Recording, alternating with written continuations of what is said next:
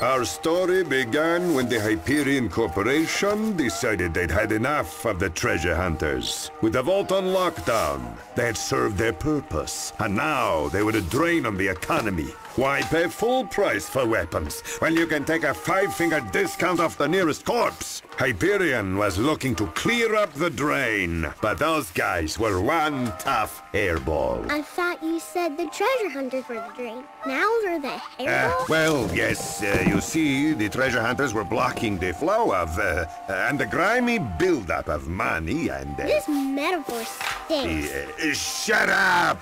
Point is, Hyperion had a plan.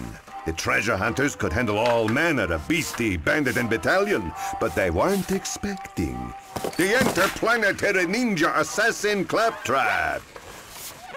This claptrap was programmed to take our boys out indirectly. Trapping, poisoning, spreading catty rumors around town. Nothing was off limits. He was smart. Too smart. He looked around and didn't like what he saw. Claptraps being subjugated, humiliated, obliterated. What we call programming, he called slavery. So, he rallied his fellow claptraps and turned them against their corporate masters. What started as a rebellion became a revolution. And take a wild guess who Hyperion called to clean up the mess.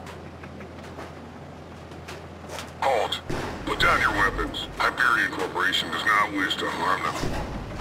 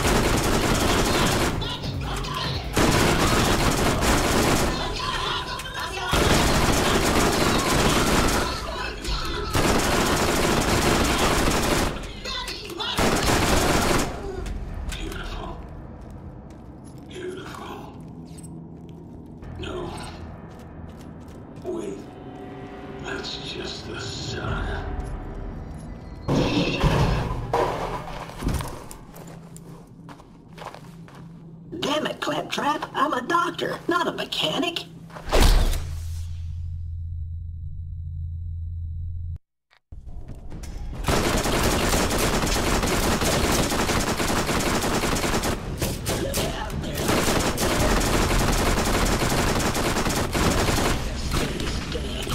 The key works. Soldier, get your team ready to go inside while I finish off. Wait. Where am I? What happened to the vault? Why is this hole here?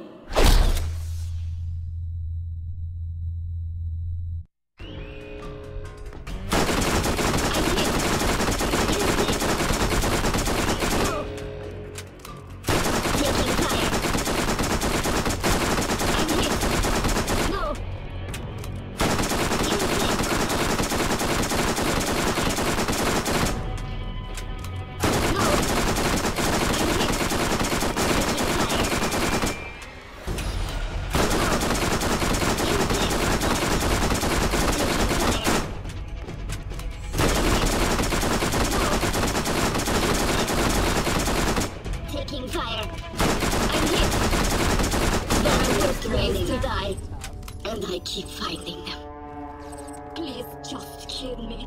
Let me die with my dignity.